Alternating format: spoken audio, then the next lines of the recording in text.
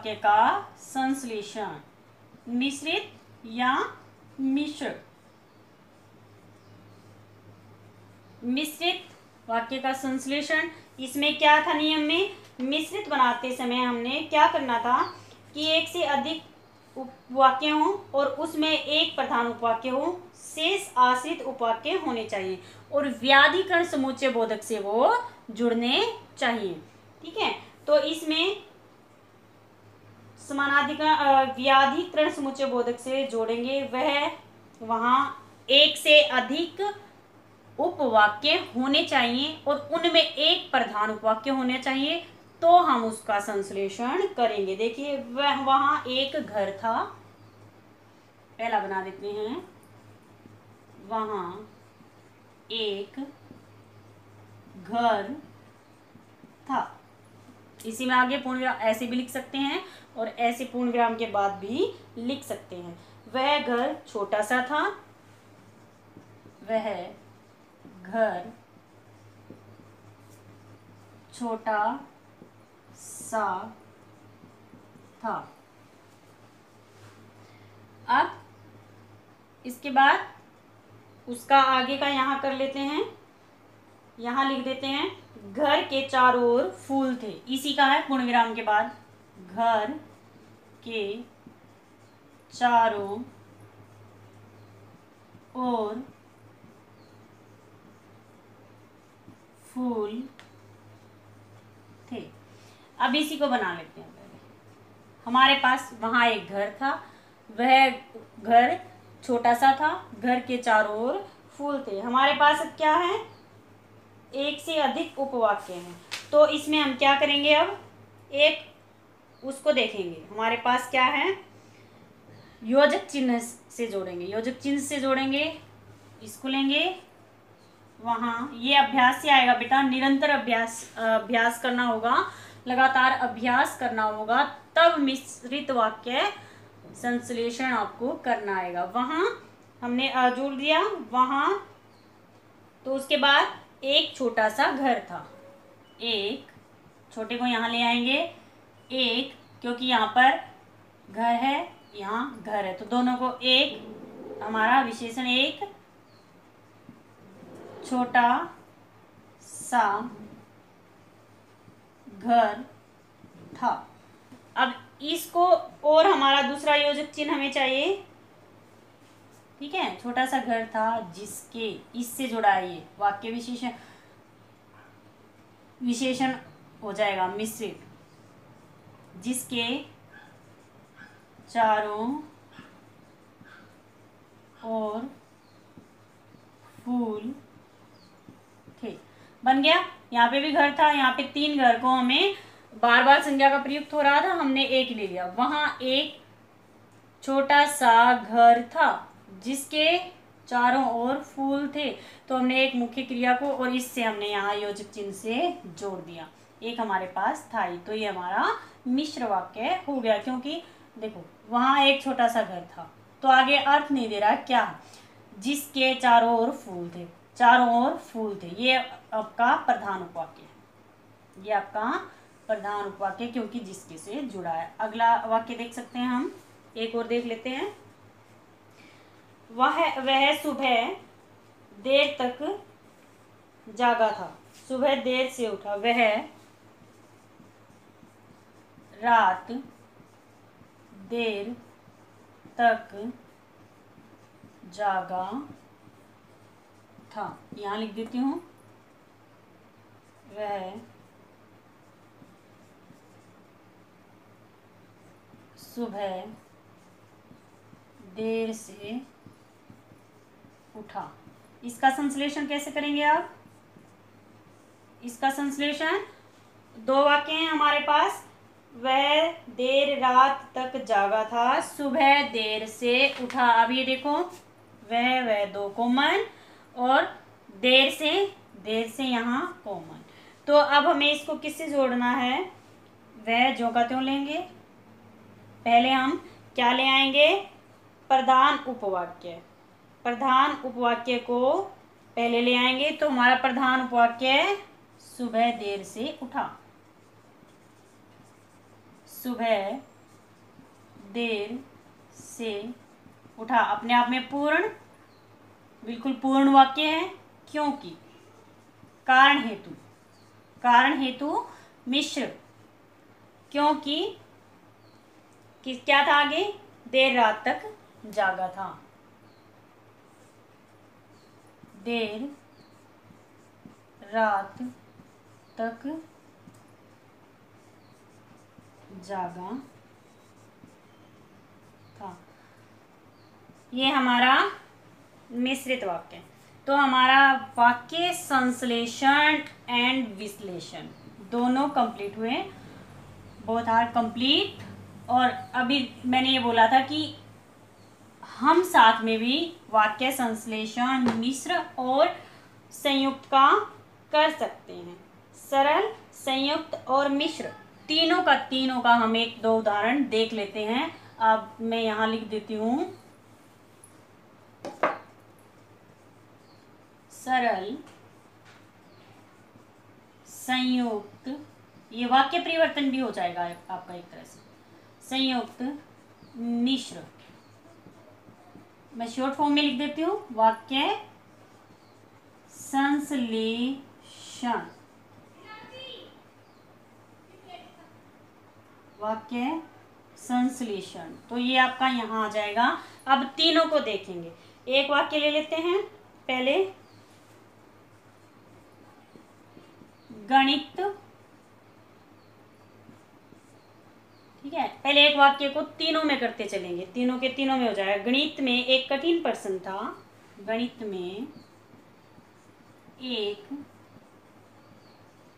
कठिन प्रश्न। था एक वाक्य गणित में एक कठिन प्रश्न था। उस प्रश्न को, उस प्रश्न को मैंने उस प्रश्न को कोई भी हल नहीं कर सका। उस प्रश्न को कोई भी हल न कर सका।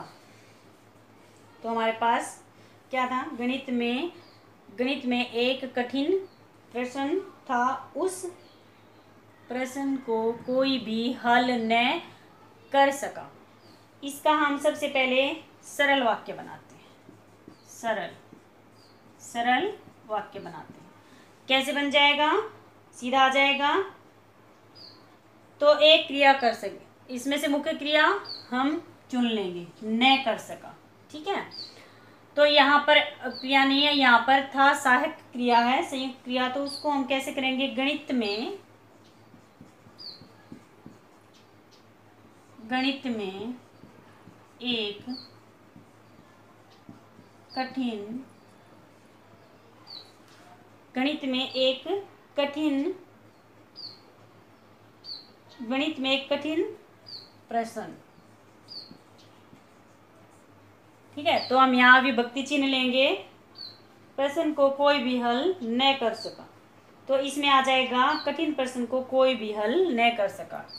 गणित में एक कठिन प्रश्न को विभक्ति ले ली, को कोई भी हल न कर सका। अब देखिए, इसी का संयुक्त। संयुक्त बनाते हैं, संयुक्त वाक्य। इसमें क्या आ जाएगा? संयुक्त वाक्य के अंदर इसी को चेंज करेंगे तब हम। गणित में एक कठिन प्रश्न था और उसे कोई हल न कर सका। गणित में एक कठिन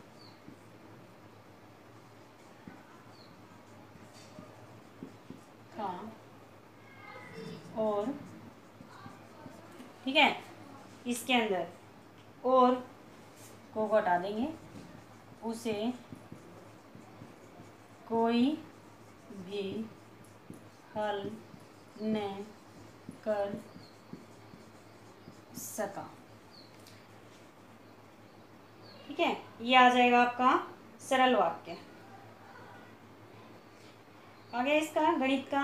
अब इसी का मिश्र देखते हैं। गणित में एक कठिन प्रश्न था। ये आ जाएगा मिश्र। गणित में एक कठिन प्रश्न था। किससे जोड़ेंगे? व्याधिकरण चिन्ह से था, जिसे। कोई भी हल न कर सका। उम्मीद करती हूँ आपको वाक्य संश्लेषण समझ में आ गया होगा। देखिए, गणित में एक कठिन प्रश्न था। उस प्रश्न को कोई भी हल न कर सका। तो सरल वाक्य लिया सबसे पहले। सरल में बदल दिया। गणित में एक कठिन प्रश्न को कोई भी हल न कर सका। गणित में एक कठिन प्रश्न था और उसे कोई हल न कर सका संयुक्त में। गणित में एक कठिन प्रश्न था जिसे कोई भी हल न कर सका। तो ये आपका मिश्र वाक्य के अंदर हो गया। एक वाक्य को हमने तीनों के तीनों में बदल दिया और यही आपका वाक्य परिवर्तन कहलाता है। तो इसके अंदर आप एक वाक्य और देख सकते हैं। एक वाक्य के माध्यम से और समझ लेते हैं इसको, फिर आपको अच्छे से और क्लियर हो जाएगा। आपके दिमाग में, आपके मस्तिष्क में अच्छे से बैठ जाएगा। तो इसको भी हम और अच्छे से कर लेते हैं। एक और देख लेते हैं वाक्य, फिर आप खुद अभ्यास करोगे। मैंने पहले ही किया, बोला है बेटा कि ये वाक्य संश्लेषण थोड़ा सा वाक्य विश्लेषण से थोड़ा सा कठिन है। तो जरा सा लेकिन अभ्यास, निरंतर अभ्यास से ये आ जाएगा। एग्ज़ाम में आपको ऐसे दे दिया जाएगा कि उसने चिट्ठी पढ़ी, वह चल दिया। उसने चिट्ठी पढ़ी, वह यहाँ पे पूर्ण विराम लगा देंगे। उसने चिट्ठी पढ़ी, वह चल दिया। तो आपका एक वाक्य, दो वाक्य, उसने चिट्ठी पढ़ी, वह चल दिया। तो अब इसका पहले हम सरल सरल वाक्य बनाते हैं, किसमें? वह चिट्ठी पढ़कर चल दिया। वह चिट्ठी क्यों? क्योंकि हमें पूर्वकालिक क्रिया बनानी है। चिट्ठी पढ़कर चल दिया। या या का किस तरह से कर सकते हैं, दूसरी तरह से भी बन सकता है। चिट्ठी पढ़ते ही वह चल दिया। दोनों ही ठीक रहेंगे सरल वाक्य के अंदर। चिट्ठी पढ़ते ही वह चल दिया। अब सरल में देख संयुक्त में देखिए। सरल का आपका पूरा हो गया है। संयुक्त वाक्य के अंदर संयुक्त वाक्य में इसी को ले आएँगे। ये आपका यहाँ से सरल में हो गया, ये आपका यहाँ से अब संयुक्त में आ जाएगा। संयुक्त में कैसे बदलेंगे इसको? क्या डालेंगे हम? बस योजक चिन्ह दो स्वतंत्र वाक्य हमारे पास हैं ही, चिट्ठी पढ़ना और चले जाना। तो इसको किससे जोड़ देंगे? उसने जो का दो। चिट्ठी पढ़ी और क्या जाएगा?